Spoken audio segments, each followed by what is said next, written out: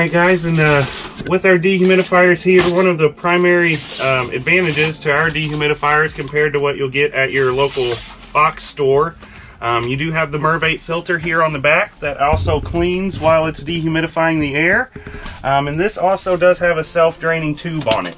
As you see, you put a negative grade on the line, um, and as the unit runs and dehumidifies the air, the water will just run right through.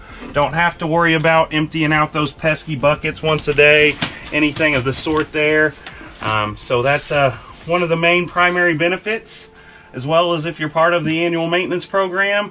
This particular unit here is a $1,500 unit we're actually putting in at no cost for this customer today um, because their old unit had gone out.